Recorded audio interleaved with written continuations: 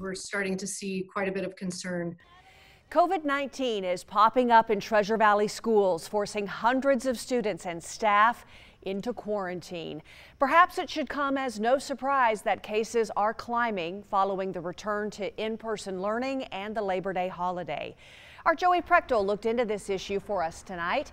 He's live now with a look at COVID 19 in our schools. Joey.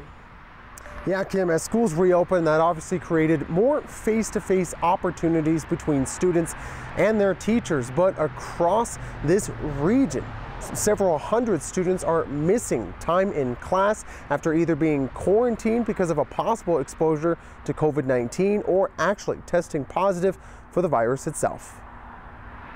Southwest District Health covers six different counties. and between those counties, more than 300 students and staff members are in quarantine after a possible exposure to COVID 19. Some of those students are in the Emmett School District, which is reporting its first confirmed case of COVID 19 among students, with two more students considered probable.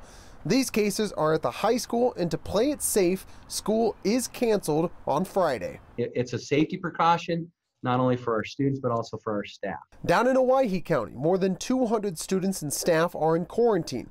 A large portion of that comes from the Marsing School District. Their superintendent says that one secondary staff member tested positive. Then they had three probable cases, so now grades three through five are learning from home until the end of the month. They are actually increasing. Uh, we have over 55 schools right now that have had COVID presented to them, whether through students or staff. Now moving over to Central District Health, which covers four counties Ada, Elmore, Boise, and Valley. The cases are concerning to Gina Pinnell, a program manager with the health district. The pace that we're seeing with many of our bigger districts not even fully in person yet um, is is not sustainable as it is. Across the four counties, roughly 250 students and staff are in quarantine. That's a very high number and could quickly turn us into a case rate that puts us back into category three. In Glenns Ferry, school is closed until October 6th. This is because multiple people tested positive for COVID 19. However, the district didn't give a specific number. Pinnell's advice to both families and schools reduce the amount of people you're in close contact with.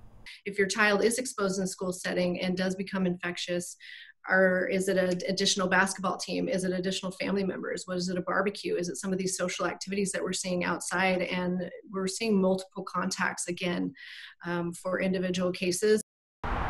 Another thing Pinnell recommends is to wear a mask at all times, especially when inside, because if a child is exposed or if a, an adult, a teacher is exposed to COVID-19, the chance of actually getting the virus reduces significantly if both people are wearing masks. Kim?